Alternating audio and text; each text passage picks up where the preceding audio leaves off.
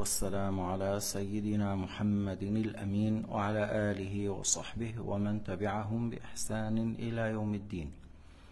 شرح العقيدة الطحاوية صحيفة 27 On est dans le livre Al-Aqida al-Tahawiyya qui est la croyance de Sunnah wal Jama'a par l'unanimité depuis 1100 ans.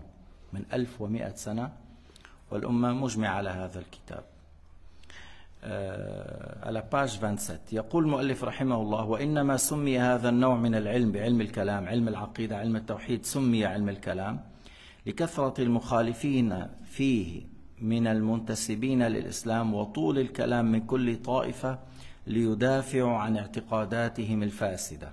Alors ça a été nommé علم التوحيد علم العقيدة ça a été nommé la science de kalam, la science de la parole. Pourquoi? Parce que Comme il y a beaucoup de sectes, comme on dit le Mujassima, ou le Mu'tazila, ou le Murji'a, ou le Karramiya, ou le Khawarij, ils ont trop parlé euh, au, au, sujet de leur fausse croyance. Ils ont beaucoup parlé au sujet de leur fausse croyance. Alors on a nommé la, la science de la parole.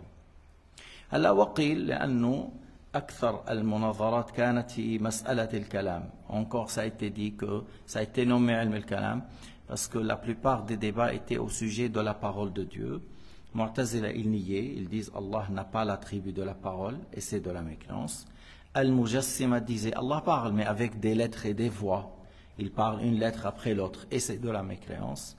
Et Ahl-Sunnah al-Jama'a, ils disaient Allah a l'attribut de la parole, il parle sa parole n'a pas de début, n'a pas de fin, n'est pas composée des lettres et des voix. Alors on l'a nommé la science de kalam parce que la plupart des débats étaient à ce sujet.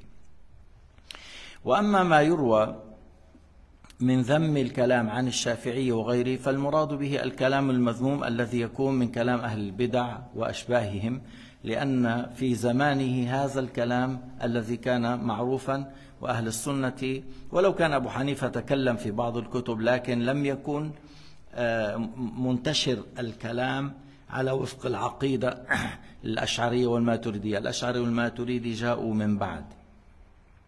Alors, si ça a été rapporté que l'imam Shafi'i a critiqué la science de l'kalam, et il y a une version que Shafi'i a critiqué la العقيدة des groupes égarés. لأن في رواية قال لأن يلقى الله العبد بشيء.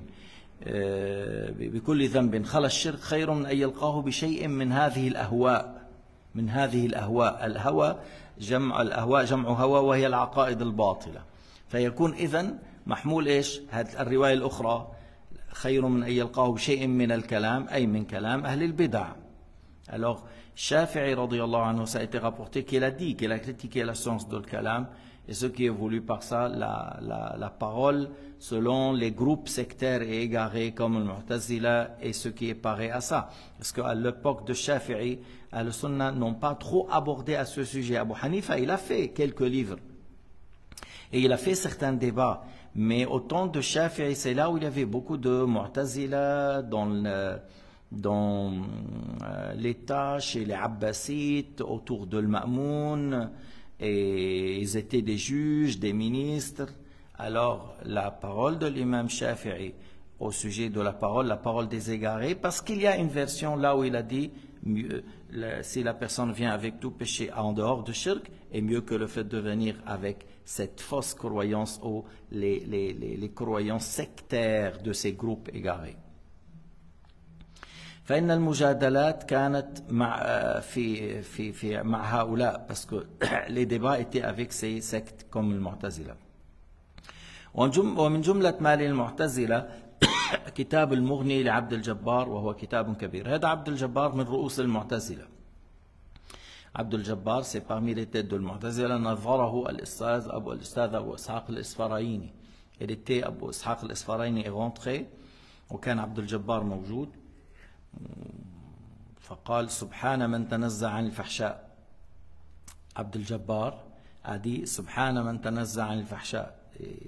Ce qui signifie il a dit Abdel Jabbar Allah est exempt d'être malfaiteur de faire de mauvaises choses لكن هو أراد أن يقول أن الله ما خلق الشر وما قدره هذا قصد عبد الجبار فقال أبو إسحاق الإسفرايني سبحان من لا يجري في ملكه إلا ما يشاء Alors, Abu Ishaq al-Isfaraini a répliqué, il a dit, gloire à Allah, exempt de toute imperfection, rien ne se passe sans sa volonté. لأن الآخر عبد الجبار يزعم يقول لو شاء الله الشر لكان شريرا فهو منزه Hein? Abdel Jabbar, il a prétendu que si Allah a prédestiné le mal, il sera malfaiteur. Allah est exempt d'être malfaiteur. Abu Ishaq al-Isfaraini يقول الله قدر كل شيء ما فيه الشر ولا يلزم من ذلك أنه شرير معاذ الله معاذ الله سنشرح فقال سبحان من لا يجري في ملكه إلا ما يشاء gloire à Dieu exempt de toute imperfection rien ne se passe sans, sans sa volonté قال عبد الجبار أيحب ربنا أن يعصى قال عبد الجبار أيحب ربنا أن يعصى يعني أنت تقول شاء المعصية إذا يحب أن يعصى Alors il a dit Abdul Jabbar, est-ce que Allah agrée qu'on désobéit à lui Est-ce que Allah accepte ou agrée qu'on désobéit à lui Parce que lui, il prétend, si tu dis Allah a voulu, ça veut dire il agrée, il, a, il accepte et il aime selon lui. فقال أبو, أبو إسحاق أو يعصى ربنا قهرا Abu Ishaq a dit, est-ce qu'on désobéit à Allah malgré lui Parce que d'après toi, Allah n'a pas voulu le mal. Allah n'a pas prédestiné. Mais le mal a lieu. Alors tu dis qu'Allah Ta'ala est, est, vaincu. C'est lui, il n'a pas voulu, le shaitan et l'être humain a voulu, la volonté de l'être humain et le shaitan a, a été réalisée. C'est comme tu dis, Allah est vaincu par les désobéissants. فكأنك تقول الله يعصى يعصى قهرا يعني مغلوب لا غالب كأنك تقول الله مغلوب لا غالب c'est comme tu dis Allah est vaincu il n'est pas comme Allah a dit dans le Coran والله غالب على أمره شفت هذا الجواب؟ حاسم كاسح ماسح. Une réplique très forte de la part de أبو إسحاق فالآخر غير في المنحى. Changé un petit peu dans le débat. Il a dit أرأيت إن منعني الهدى وقضى علي بالردى؟ أحسن إلي أم أساء؟ هنا صار إيش؟ تغير الموضوع. يعني ما استطاع أن يجيب على تلك المسألة. فنحى منحا آخر. Pas pu répliquer au, à la question. أو يعصى ربنا قهرا؟ il n'a pas pu répondre alors il a dit si il a euh, il m'a privé de la foi de, du bien et il m'a prédestiné le, le mal et le péché la désobéissance il m'a fait du bien ou du mal قال أرأيت إن منعني الهدى وقضى علي بالردى منعني الهداية وقضى علي إيش بالضلال وكذا أحسن إلي أم أساء فقال أبو إسحاق إن منعك ما هو لك ولكن انتبهوا هل هناك شيء لنا؟ لا كله الملك كله لله كله لله. فهذا الجواب بتقدير إن بتقدير إن اللي هي للامتناع والأمر ليس كذلك. قال إن منعك ما هو لك فقد أساء. وإلا يعني وبما أنه لا شيء لك وإلا فهو يفعل في ملكه ما يشاء. Il lui a dit, s'il t'a privé quelque chose qui est à toi, et on sait très bien qu'on n'est pas des associés à Dieu par le, la souveraineté, il n'y a rien qui est à nous. Nous, on appartient à Dieu Azza Jal. Nous, nous et ce qu'on porte, c'est à Dieu. Alors il a dit, s'il t'a privé quelque chose qui est à toi, il t'a fait du mal. Si c'est si si c'est à toi, parce que le mal d'agir dans le bien de l'autre sans sa permission. Si c'est à toi, mais il n'y a rien qui est à nous. Ou sinon, il fait ce qu'il veut, il fait ce qu'il veut avec les créatures.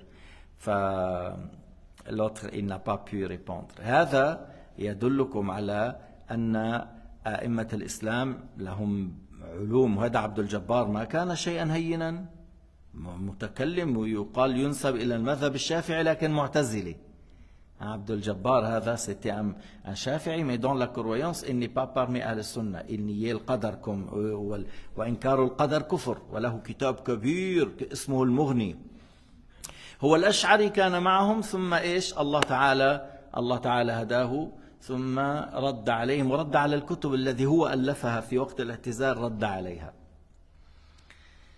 وما صحيح ما يقول المجسمة الأتباع ابن عبد الوهاب. يقولون المعتزلي مر بثلاث مراحل. قال مر بمرحلة الاعتزال ثم مر بمرحلة إنكار الصفات يزعمون إنكار الصفات. وبعدين قال صار من من المثبتين.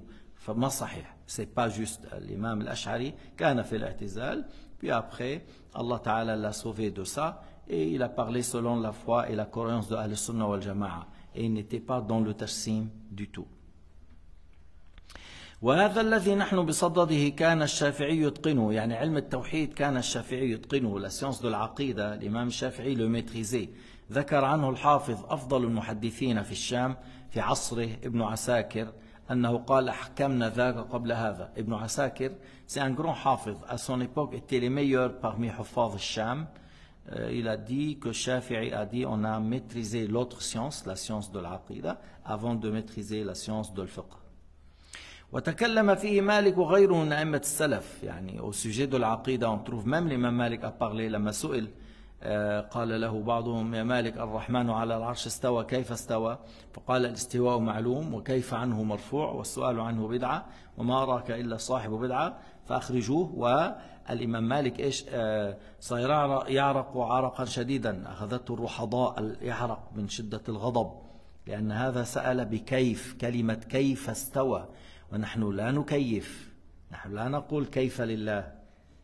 وكيف عنه مرفوع شو قال له وكيف عنه مرفوع الإمام مالك أجاب a répondu à celui qui a dit Oh Malik Allah Ta'ala a dit dans le Coran Ar-Rahman ala arsh istawa comment istawa alors l'imam Malik était énervé de sa manière de parler lorsqu'il a dit comment parce qu'on n'attribue pas à Allah Ta'ala le comment il a dit al-istiwa ma'loum c'est mentionné dans le Coran وكيف عنه مرفوع في رواية والكيف غير معقول روايتين وكيف عنه مرفوع والكيف غير معقول. Les deux dans le même sens Allah est exempt du comment. في رواية ليست صحيحة والكيف مجهول. هذه رواية غير صحيحة تمسك بها الوهابية. ليش؟ حتى يقول له كيف؟ نحن لا نعلمه. هذه رواية غير صحيحة. هذه لم يروها الحفاظ البيهقي روى التي نحن نذكرها والمالكية الكبار نقلوا تلك الرواية. وكيف عنه مرفوع. Alors j'ai dit que le Mujassima, il tient à une version qui n'est pas juste, qui est citée dans plusieurs livres. Et ceux qui l'ont rapporté, ils, ils, croient que ça veut dire qu'Allah est exempt du comment. Mais la parole, elle peut donner une confusion. Alors ils ont tenu à cette version qui n'est pas juste pour dire Allah il a un comment, mais on ignore le comment. Mais non, mais il y a وكيف عنه مرفوع والكيف غير معقول tu vois les deux versions que Allah est exempt du comment c'est pas que on ignore le comment c'est pourquoi l'imam Malik était fâché si l'imam Malik croyait que Dieu est assis sur le trône et l'autre a dit comment pourquoi l'imam Malik il va être fâché لو كان الله جالس على العرش ويملأ يملأ العرش وله وزن وله ثقل بحط رجليه على الكرسي كما يقول ابن تيمية وهؤلاء الملاعين وهذاك الرجل سألوا كيف؟ على مقتضى قولهم الإمام مالك كان مطلوب أن يفرح ويستبشر ويضحك يقول له سؤالك مهم. ها سألت عن أمر مهم. الله يجلس على العرش يملأ العرش لا يفضل منه مقدار أربع صابع ورجليه يضعها على الكرسي. لكن الإمام مالك غضب صار يعرق وقال له وما أراك إلا صاحب بدعة. ليش؟ كيف قال له أنت صاحب بدعة؟ لما؟ لأنه لما بتسأل بكيف يعني عم تحكي بالتجسيم Lorsque tu poses la question au sujet comment, c'est-à-dire toi tu es parmi ceux qui parlent de tassim et Allah Ta'ala est exempt de cela. C'est pour cela qu'il lui a dit صاحب بدعة. أما لو كان الإمام مالك مجسما ويعتقد التجسيم فلما ينكر عليه؟ حيقول له سؤالك مهم جدا بتعرفوا أنتم اليوم الوهابية؟ هذا من أول ما بيدرسونا. بقول له أين الله؟ بقول له فوق العرش. قال الله تعالى الرحمن على العرش استوى. شوف كيف بيستعملوها. هذا الذي غضب منه الإمام مالك. ولأن الإنسان تكلم بنسبة المكان أو بالكيفية بنسبة الكيف إلى الله. وكان الشيخ الإمام مالك يحسن هذا العلم. ابن هرمز من مشايخ الإمام مالك الكبار كان يتقن علم التوحيد. Encore ابن هرمز parmi المشايخ qui maîtrisait la science de l'aqida c'est parmi les مشايخ de l'imam مالك وقال بعض العلماء في مدح علم الكلام الذي لأهل السنة شعرا من البسيط عاب الكلام أناس لا عقول لهم يعني عابوا علم التوحيد عاب الكلام أناس لا عقول لهم وما عليه إذا عابوه من ضرر ما, ما ضر شمس الضحى في الأفق طالعة ألا يرى ضوءها من ليس ذا بصر Alors, dans le poésie de rythme al-basit, un parmi les savants a dit, il y a certaines qui ont critiqué la science de kalam, mais ils n'ont pas des bonnes manières de raisonner, ils n'ont pas des gens raisonnables. Et leur critique ne fait rien du mal à cette science. Cette science, toujours, c'est quelque chose de très grand, d'un grand mérite. Et est-ce que le soleil qui est en pleine matinée, ah, qui, est, qui apparaît en pleine matinée, ça lui arrive du mal si un aveugle ne l'a pas vu? Quelqu'un qui n'a pas vu le soleil parce qu'il est aveugle, est-ce que ça arrive du mal au soleil? Non. Alors ceux qui ont critiqué la science de Tawhid, ça n'arrive pas que cette, cette science ne, ne, devient pas une science à critiquer parce que ces gens-là n'ont pas la bonne raison. قال الشيخ المحدث الحافظ الفقيه الحنفي شمس الدين محمد بن طولون في كتابه ذخائر القصر في تراجم نبلاء العصر في ترجمة أحمد بن عبد الرزاق بن عبد الرحمن الراشدي ما نصه وسألني يعني المترجم له هذا الراشي عبد الرزاق عن علم التوحيد. ابن طالون يقول أنه فلان سألني عن علم التوحيد. آه، وعلم الفقه أيهما أفضل؟ Abd, Ahmed, Ahmed, fils de Abdelrak al-Razzaq al-Rashidi, m'a posé la question, c'est quoi le mieux, la science de l'aqida ou la science de la pratique et le fiqh فقلت له ما قاله أبو منصور الماتريدي في عقيدته إن الفقه في الدين هو التوحيد أفضل من الفقه في العلم وهو الشرائع Alors il a dit, je lui ai répondu par la parole de Maturidi que la science au sujet de Al-Aqida et, et qui est le Tawhid, c'est mieux que la science dans le fiqh qui est le, le savoir au niveau de la pratique. وعن هذا قالوا طلب العلم فريضة على كل مسلم au sujet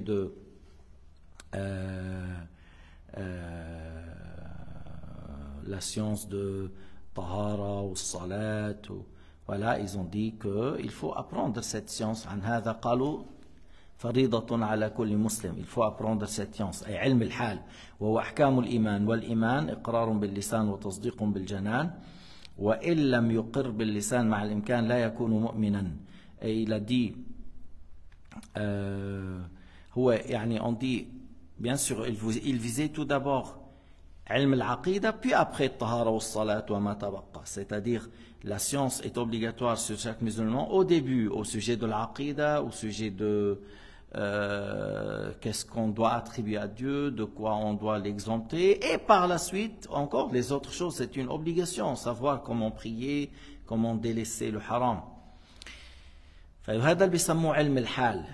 on dit c'est la science qu'on doit la, la, voir et qu'on doit le connaître parce que tu dois tous les jours prier, jeûner, euh, prier et faire la purification, délaisser le haram. Et en même temps, avant tout ça, tu dois avoir la bonne croyance, sinon tout ça, ce n'est pas valable. وهو قال إقرار باللسان وتصديق بالجنان au sujet de l'iman, c'est le fait de affirmer par la langue et croire par le cœur. وإن لم يقر باللسان مع الإمكان لا يكون مؤمنا. S'il arrive à dire la ilaha illallah Muhammad Rasulullah, il n'a pas dit, il n'est pas considéré mu'min, même s'il dit je crois par le cœur. Il faut qu'il admet par la langue. فإذا كما إذا أقر ولم يصدق حتى مات لم يكن مؤمنا لأن ترك البيان من غير عذر يدل على فوات التصديق parce que lui il arrivait à affirmer par la langue il pouvait et on lui a dit que voilà pour entrer dans l'islam il faut dire les deux témoignages alors il n'a pas dit alors c'est comme il n'a pas accepté c'est comme il n'a pas accepté alors il n'est pas considéré croyant لكن لو واحد قيل له تكلمنا معه عن الإسلام أو سمع سمع سمع عن الإسلام فاعتقده ولكن لم يعرف كيف يدخل في الإسلام فجاء ليسأل فمات في الطريق مثلا هذا يعتبر مؤمنا لأن ما عرف كيف يكون الدخول في الإسلام mais c'est la personne qui a entendu parler de l'islam et il a cherché et puis après il a dit je suis d'accord avec ça moi je crois à ça je crois qu'Allah est unique que Isa est un prophète messager, Mohammed est un prophète messager, il y a un jour dernier, il a cru, il a cru, mais il ne savait pas comment rentrer dans l'islam. Supposons que lui, il a essayé, il a cherché, mais entre-temps, il est mort. On dit, il est mort croyant. C'est pas comme celui qu'on lui a dit, il faut rentrer dans l'islam par deux témoignages et il n'a pas témoigné. Celui-là, il ne savait pas. Si, si on lui a dit, il allait dire. Si on lui a dit, il allait dire. Non. Non, non, non, on peut témoigner dans n'importe quelle langue, mais si on maîtrise la langue arabe, c'est mieux par la langue arabe. Mais on peut dire la shahada par les, toutes les autres langues. وعند الكرامية الإقرار باللسان لا غير لقوله عليه السلام أمرت أن أقاتل الناس حتى يقولوا لا إله إلا الله وهذا باطل لقوله تعالى قالوا آمنا بأفواههم ولم تؤمن بقلوبهم قل هذول الكرامية المجسمة أتباع محمد بن كرام ils ont dit suffit de prononcer par la langue même s'il a même s'il n'a pas cru par le cœur, mais ça ne va pas. Allah Ta'ala a dit dans le Coran, Ils ont dit, on a cru par la langue et par leur cœur, ils n'ont pas cru. Alors euh, Allah Ta'ala a dit qu'ils ne sont pas croyants. Alors il ne faut pas dire que s'il a prononcé par la langue et le cœur n'a pas accepté, il est croyant, pas du tout, par l'unanimité. Mais c'est des, grands égarés. Al-Mukarramiya, hum al-Marji' ou Salaf ibn Taymiyyah. Salaf ibn Taymiyyah, hum al-Karramiya, Muhammad ibn Karram. Et il croyait que Dieu est un corps, il a un poids qui s'assoit sur le trône. Billahi ta'ala. Wallahu subhanahu wa ta'ala a'lam wa ahkam. Walhamdulillahi rabbil alamin. وصلى الله على سيدنا محمد وعلى آله وصحبه وسلم تسليما كثيرا